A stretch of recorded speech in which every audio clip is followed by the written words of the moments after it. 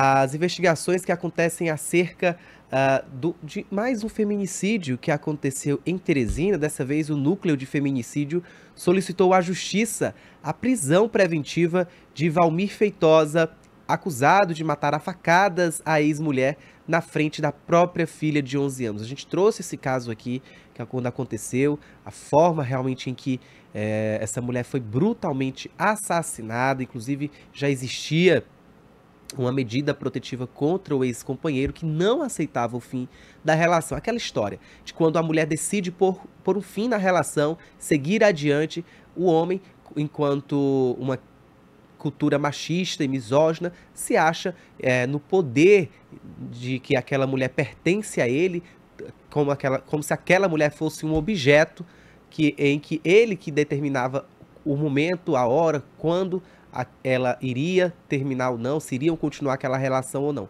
E quando ela ter, decide, né, está decidida a não seguir adiante, ele vai lá e se acha no direito de tirar a vida. Mais um caso realmente de feminicídio, e dessa vez a que aconteceu no Parque Vitória, na zona sul de Teresina. O delegado, o repórter Felipe Reis, conversou com a delegada Natália Figueiredo do Núcleo de Feminicídio do, DHPP e traz mais detalhes acerca desse caso que acabou chocando devido à brutalidade. Foram 11 facadas. A gente escutou, inclusive, o perito criminal dizendo que o, a faca se quebrou ao meio devido à brutalidade dos golpes em que essa mulher foi atingida. E tudo isso aconteceu na frente da própria filha da vítima de apenas 11 anos, que testemunhou o crime, que inclusive tentou defender a própria mãe, mas não nada pôde ser feito porque a mulher acabou perdendo a vida. Vamos acompanhar então com Felipe Reis. A morte de Liana Linhares, de 27 anos, está sendo investigada pelo núcleo de feminicídio o lanterneiro Valmir Feitosa Santos cometeu feminicídio por não aceitar a separação.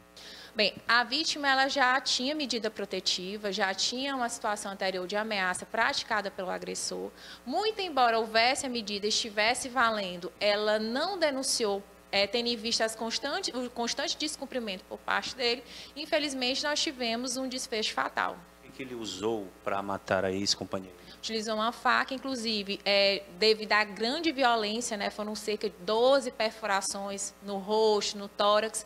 Diante da grande violência dela, chegou, a, inclusive, a quebrar o cabo. Então, você vê a violência a qual a vítima foi submetida. Mas ele agora permanece preso. Qual vai ser a condição dele no momento? É, a prisão em flagrante dele foi convertida em prisão preventiva. Nós temos, a partir da morte da vítima da data, 10 dias para concluir. Algumas pessoas ainda precisam ser ouvidas para que, no final, a gente possa realizar o indiciamento através do relatório final. É o que a gente traz sempre que noticiamos um caso de feminicídio, de violência doméstica, de violência contra a mulher a importância de estar atento aos pequenos sinais que esse companheiro, que esse marido, esse namorado já dá durante a relação, início da relação.